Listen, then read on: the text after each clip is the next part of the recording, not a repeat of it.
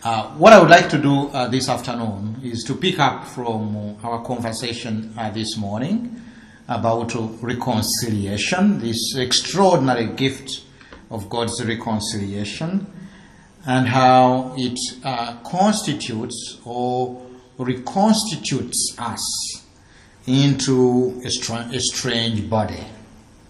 A strange body. Uh, for reconciliation is about bodies. Uh, our own bodies, the bodies of others, and the body of Christ. Reconciliation is about bodies.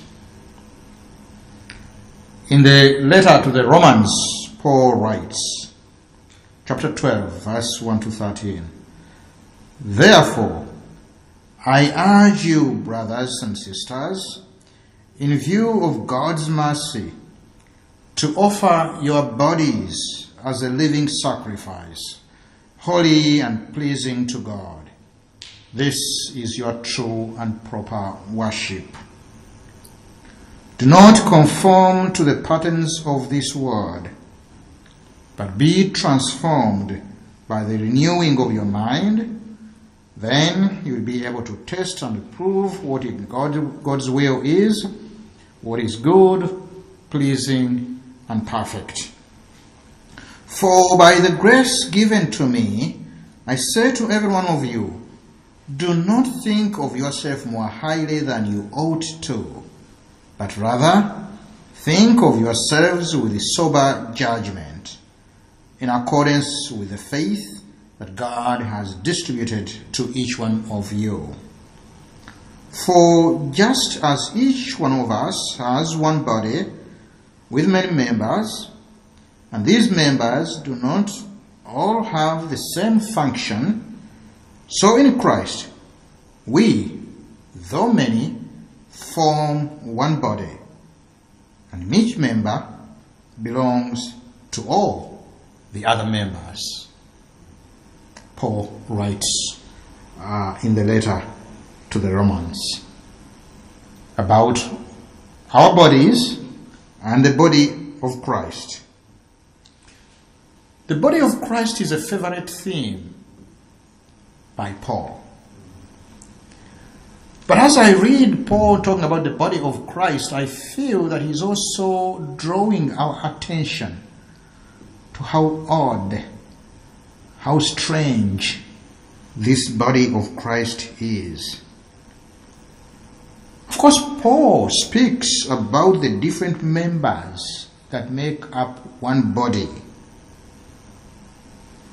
However, the fact that the body of Christ has many members, which are all different, and yet they all belong together as one body, that is not what makes the body of Christ odd.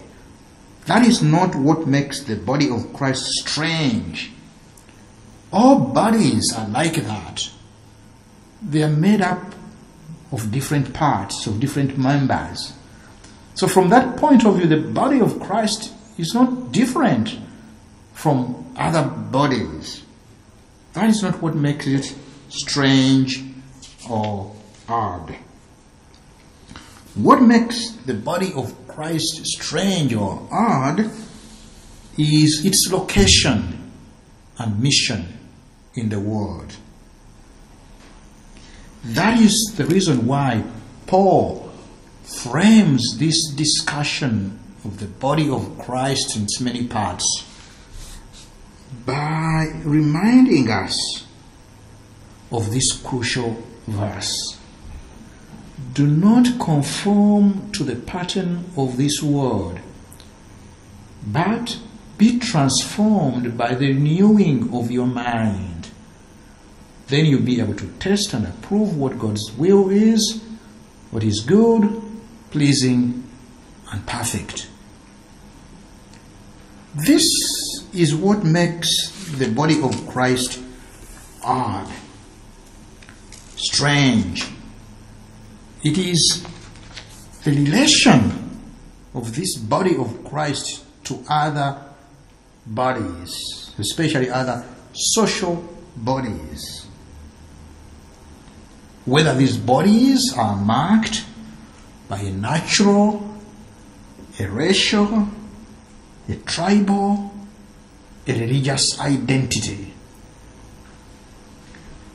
There are other social bodies in the world, and the defining characteristic of these other bodies might be racial, might be natural identity, might be tribal or national identity.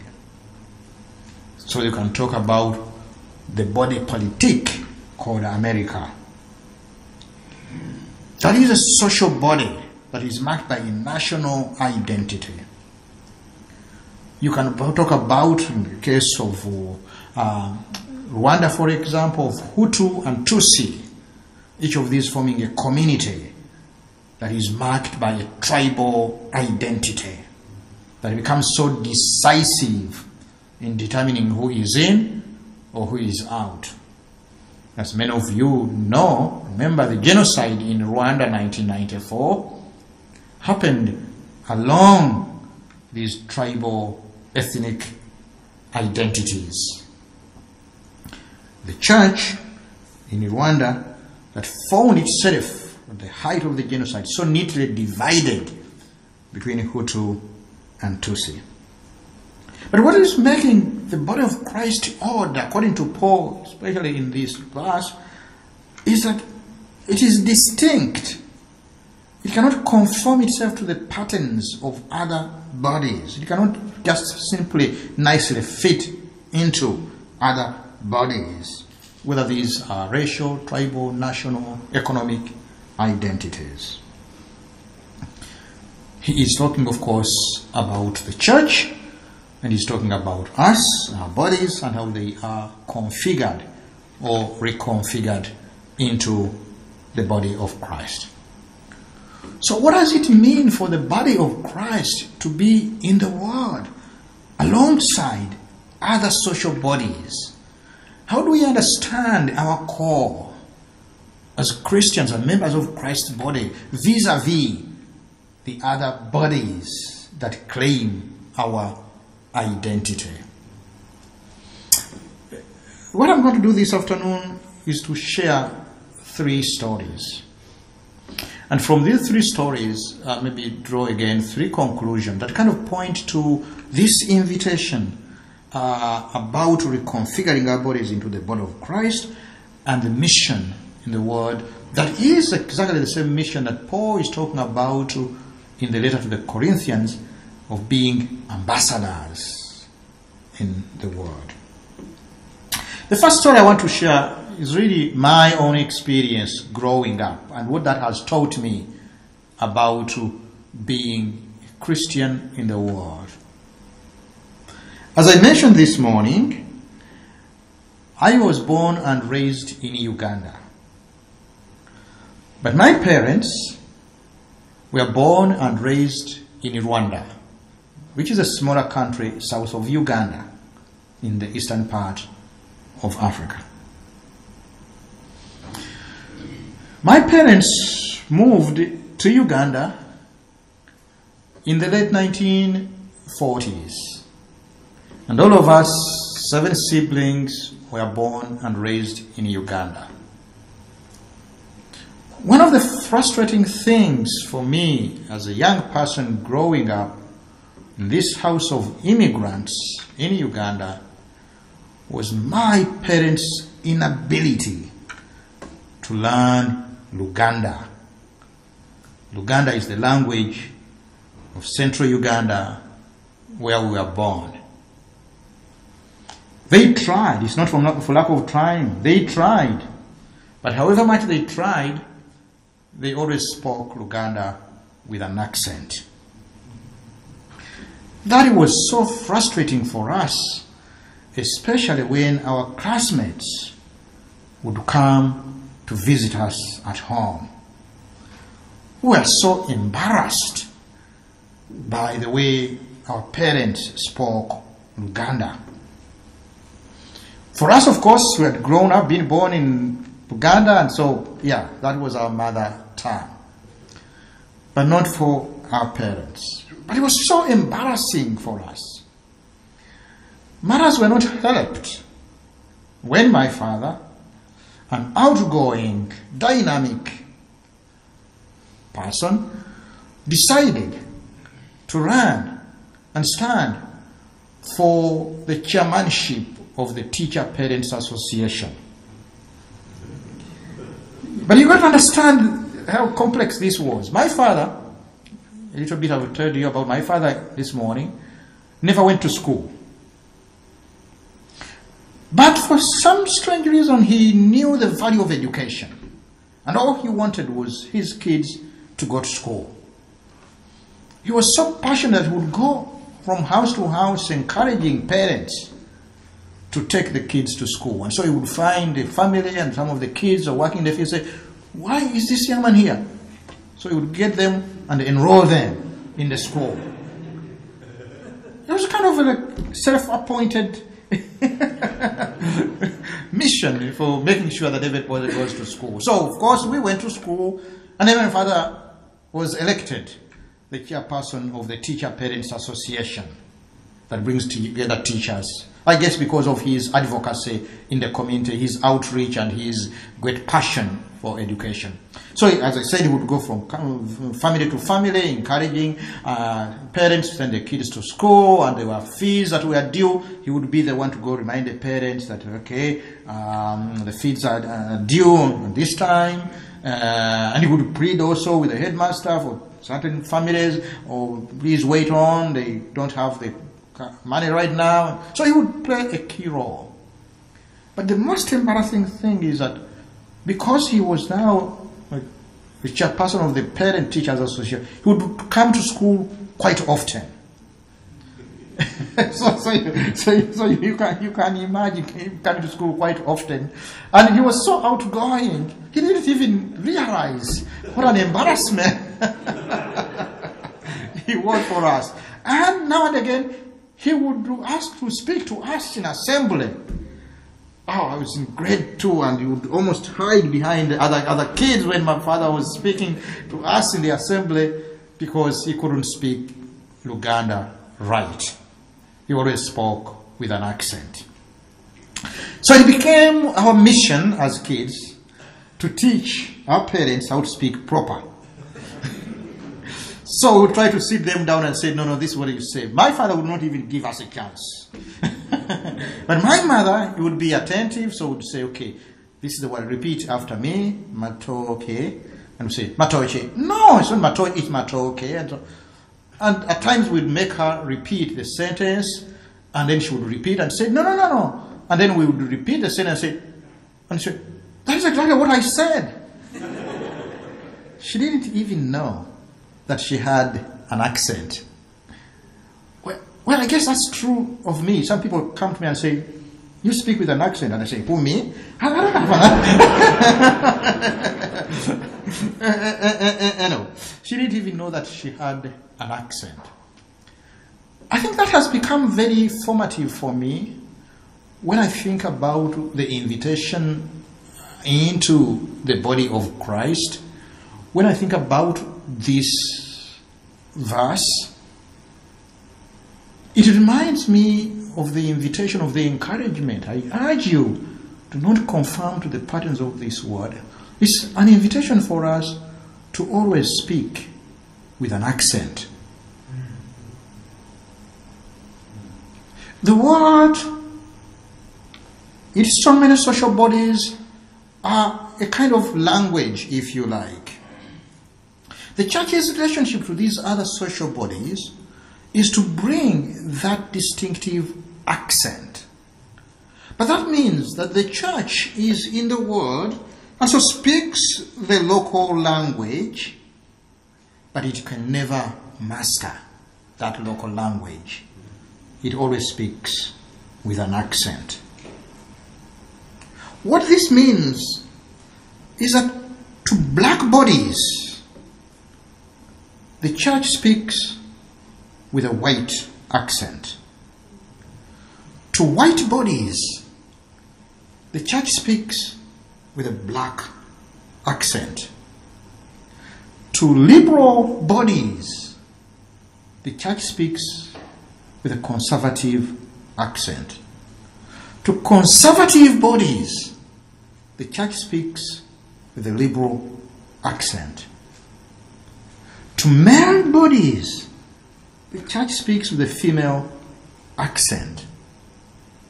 To the female bodies, the church speaks with a male accent. To native bodies, the church speaks with a foreign accent. To foreign bodies, the church speaks with a native accent. The invitation that I feel that Paul is placing on us in this verse is how to speak with an accent and be okay with it. And be like my father, who would not even give us a chance to, to try to get rid of his accent. What this means also concretely that the mission of the church vis a vis other bodies is not to make these other bodies more American, liberal, conservative, white, black, whatever it is. In Mirror to the Church, the book I wrote reflecting on the experience of Rwanda, Rwanda 1994, over 85% Christian, and in 1994, the churches, the schools, everything becoming a killing field. Christians killing other Christians in the same churches where they worshipped because of being Hutu and Tutsi. Convents. Reflecting on that story of Rwanda, I talk about Rwanda as a social body and the stories that went into the formation of Rwanda, the stories that made Rwanda what it is, and how within Rwanda there are only two ways to be either Hutu or Tutsi, even though traditionally there was also uh, the Batwa. But also, where traditionally there would be moments of moving back and forth between these identities.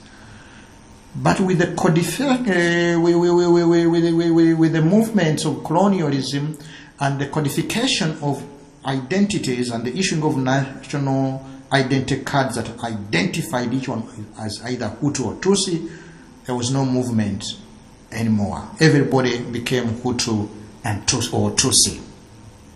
It was either or.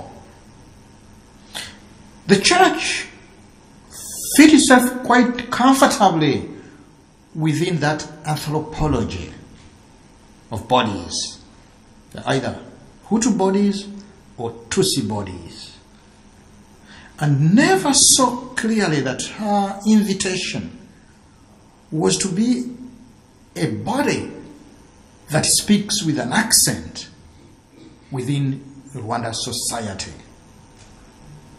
The church saw its mission as one of making Rwandans more Christian. But the Rwandans had already been so defined in such a way that they are either Hutu or Tutsi. So the church's mission was kind of building on that so called natural anthropology identity. And when Shove came to push in 1994 the genocide, the fractures between Hutu and Tutsi played themselves very neatly within the body of Christ. Christians killing other Christians. Such that Cardinal Etchegaray was sent by Rome to visit Rwanda at the height of the 1994 would ask the question, do you mean to say that the blood of tribalism is deeper than the waters of baptism? The challenge was that the church never saw itself as an odd body.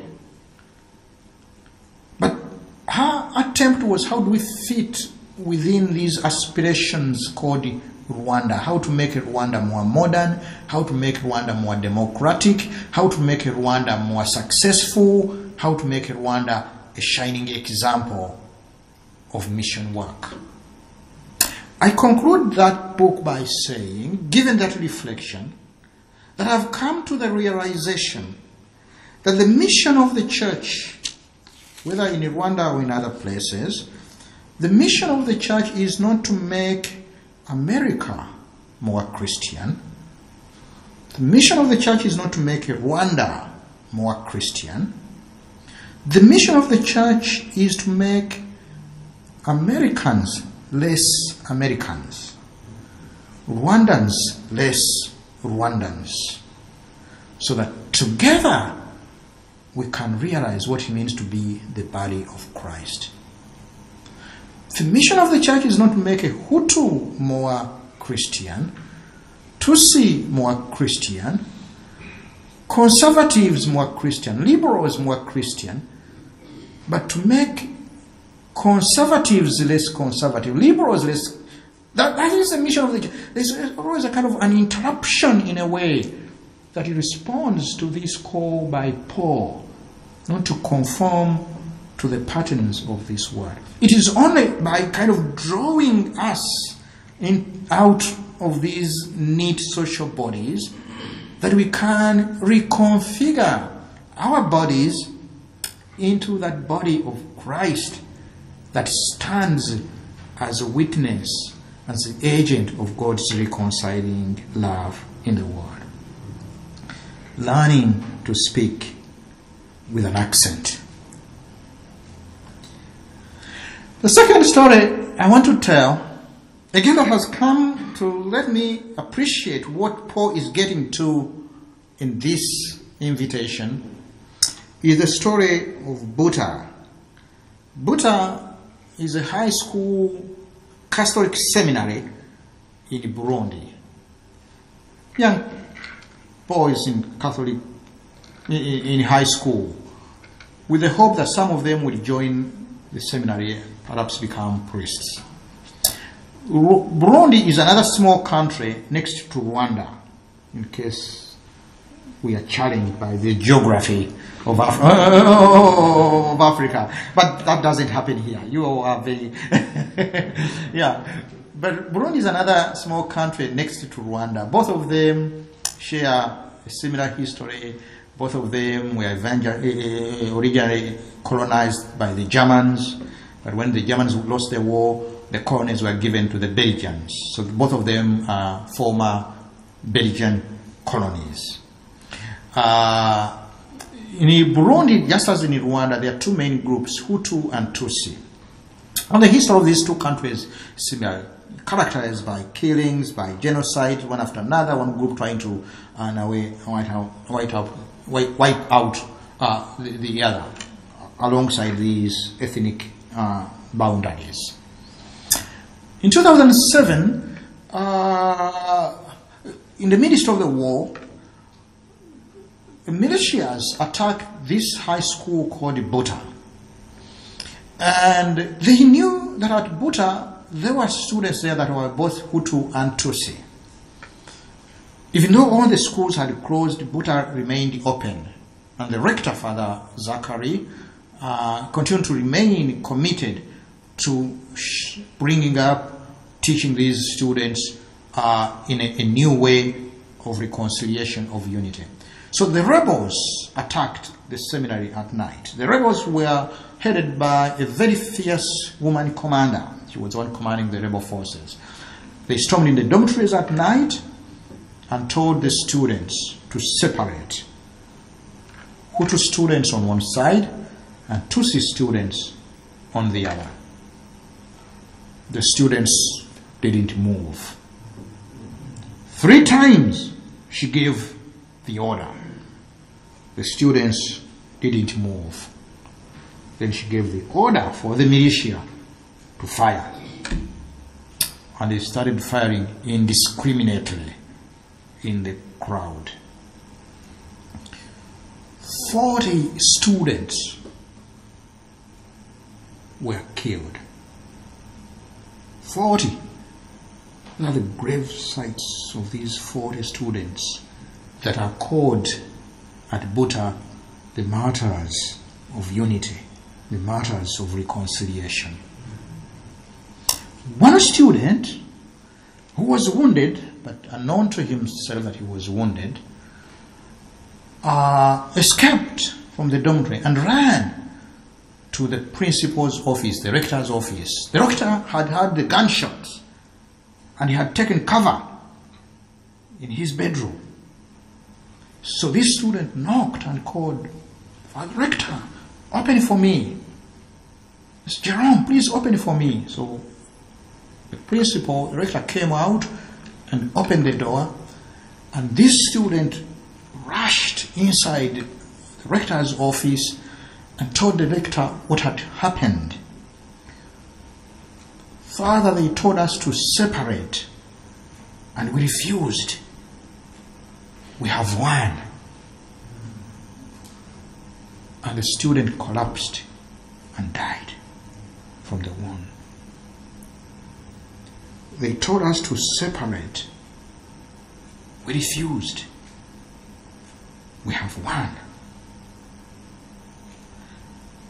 What an odd victory that is. We have won. Perhaps this is what Paul is talking about when, before this crucial verse, the first verse, he says, Brothers and sisters, I urge you, in view of God's mercy, to offer your bodies as a living sacrifice, holy and pleasing to God. This is your true and proper worship.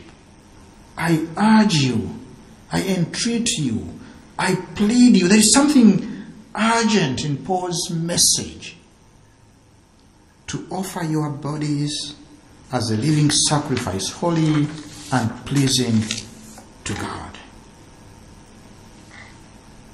An odd body of these young boys, Hutu Tutsi together.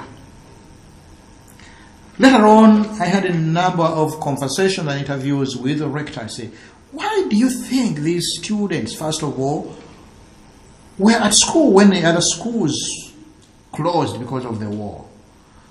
And that director says, eh, because I insisted and invited them to come back. Now I feel it was so terrible that this has happened. But on the other hand, we, have, we had no choice. But then second, I started reflecting and said, well, you know, one of the things that we did from the early on to encourage a culture of communication, of talking, throughout the activities, classes, debating clubs, and so forth, we invited students to always speak up and be able to share with one another, regardless of who the other is. If you feel that this brother is different and so forth, tell them. And so he encouraged that kind of culture of openness, of talking, uh, and that in that way, through this kind of talking, dialogue, disagreement, the body was built together. Thirdly, he said, we always had fun, especially we made lot of picnics and so forth, in playing together, soccer and, and eating together. In the process, carrying that, a fundamental unity was developed so that the students began to see each other as students of Buta, but not as Hutu or brothers. As Christians, not necessarily Hutu, Tutsi, who happen to be Christians. There is something about this odd body and about this odd winning that speaks to about uh, speaks to this charge that Paul puts before us. The third, the third story I want to talk uh, to tell is a story that we know all very well. It's the story of the community of Ephesus, the Ephesian community, to whom Paul writes this letter from prison. The letter to the Ephesians is one of the most upbeat letters. You can almost feel Paul's excitement and the joy and the exuberance in the letter to the Ephesians when he writes, The dividing wall has been broken. We who used to be far apart are fellow sojourners, fellow travelers, living together, working together. The, the word together comes up so many times, building together the edifice. It gives the metaphor of the temple, building together the temple, working together, building up the body. So, of Christ. And Paul is very upbeat about that, congratulating, if you like, the Ephesians for coming to that. What had happened? What was it behind the Ephesian community that kind of sends Paul into this Magnificat, this song of thanksgiving? Where there are two communities in Ephesus the Jewish community and the Gentile community. In the Acts of the Apostles, a solution had been reached up about these how do we deal with the Gentiles and things like that. And the Acts of the uh, Apostles had come to this kind of compromise. Let the Gentiles uh, observe, let's not kind of press too many challenges on them and the Jews. So it's kind of like coming to a compromise. Let there be two communities. Paul would never have enough of that. We are all one unity, one body. It comes back to that over and over again. For, for Paul, it cannot be two separate communities. It is all one. All of us being built up together to be the body of Christ. That's what Paul praises in the letter to the Ephesians. In other words, he's making the argument that Jewish Christians by themselves are fragments. Gentile Christians by themselves are fragments. And none of the fragments is enough. Of course, the tragedy of fragments always, as Father Alexander Schmemann, the Orthodox theologian, reminds us, the tragedy of fragments is to exclude the other, to always say, no, this, this is it, this, only, only here, no, no other. But Paul is saying, you're all fragments by ourselves, Jewish, um, Gentiles, uh, Rwandan, uh, African, American, by ourselves. This is not interesting. because we, we don't reflect the body of Christ. It is only by coming together, it's only by journeying together, it's only by working together that now comes Paul's favorite expression that we constitute the full height of Christ's full stature. It's only by coming together that that full height of Christ's full stature is revealed alone by ourselves in different kind of we remain fragments. It's only by coming together that we realize the full stature of what it means to be the body of christ. And in ephesian community what had actually happened and what paul celebrates especially is that that coming together had happened when the Ephesians finally decided it's time that Jews and Gentiles eat together. It had happened over meal, eating. They started eating together. Unheard of. For a self respecting Jew to eat with a Gentile? Come on. That's the worst thing that can happen. But here they are, kind of rebellious community, if you like, coming together and sharing the table together, eating together. That is what Paul is celebrating. That it had happened over what used to be the final dividing wall. It was the meal that was the final dividing wall. But now that has been broken. We who used to be far apart now can sit together, can eat together. This is very significant in terms of constituting this odd body. It is constituted through and with and within the very acts of eating together. There is a materiality around here. It's about the mouth. It's about the, what some of my African brothers and sisters call. It's about the fellowship of swallowship. or it's the swallowship that area constitutes that. Or as the one in Proverbs says, unless you hear the mouth eating, you cannot hear the mouth crying. It all begins by learning to eat together. Learning to eat together across divides. It is this experience that was replicated in other places in Antioch and so forth that made the Christian community a unique community, and they didn't even know what to call them. So Antioch, they called them were those strange followers of the strange way. They were called Christians for the first time, the followers of the strange way. But it is this eating together. I want to stress the highlight of eating together because it cannot be a spiritual unity. Oh, we are all brothers and sisters in Christ, in a wonderful spiritual fellowship. It has to do with learning to eat together across divides. It has to do with munching together. It has to do with economics across divides, across the racial divides, for example. How do we create, in a way, communities that learn to eat together across these racial divides, across cultural divides, across the cultural wars of conservative and liberal.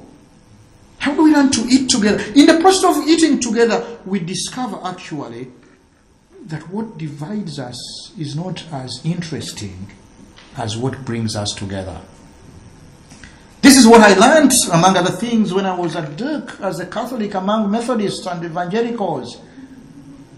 Or when I went to Lausanne, at first I thought it was too evangelical, and then I realized that, well, I am evangelical at heart. When I went to Duke and the people were saying, So what are you doing? A Catholic priest teaching in a Methodist? I said, Most of my friends are. In the process of eating together, we realize that actually we share much more.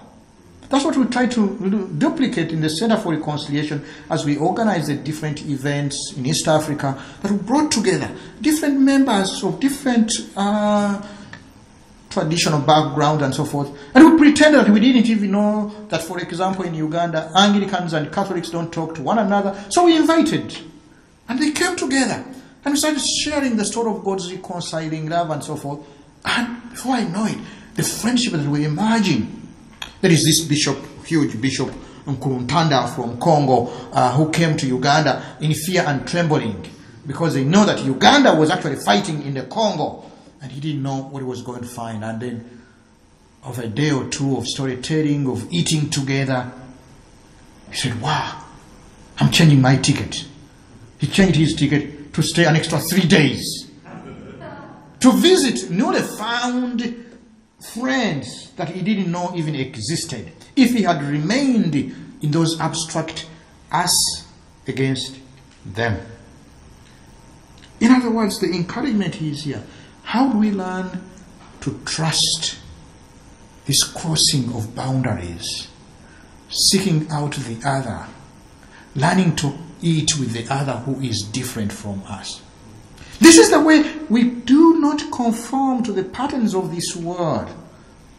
This is the way that also we offer our bodies as a living sacrifice that represents, that illumines the body of Christ in the world. Let me conclude. Three observations. One, Christian life is about bodies. Bodies matter. Our bodies, the bodies of others, and how these bodies are configured and reconfigured to the body of Christ. That is located within the world with other social bodies. This is the heart of ecclesiology, of what it means to be church. This is the heart of Christian ministry. This is the heart of Christian preaching. Two, Christian preaching illumines, illumines the body of Christ in the world and offers an invitation to a strange place, to a strange journey, to an odd body. And here Paul uses the notion of ambassadors being invited into that middle, into that odd, strange place. Being of a place, but not being of a place. Being in a place, but not being of a place. Three, this strange place is a place of learning to eat together across divides. So, in other Christian preaching is an invitation to risk eating across divides, not to be afraid of eating with the other who is different from us, not to be afraid of engaging realities that affect the body of the other, economics, health. This is the stuff through which, in a way, our bodies become reconfigured to the extent that we who used to be apart are now coming together and no longer two but one bodies. The material practices of everyday life. This is what makes the body of Christ the body of Christ. This is what makes the body of Christ odd.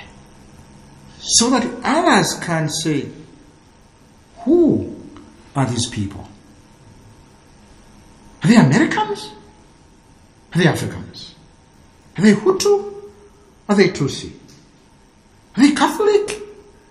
Are they Anglicans? Are they evangelical? Are they Gentiles? Or Jews? Or Greeks? For Paul, we who used to be far apart are no longer two. There is no more black or white, male or female.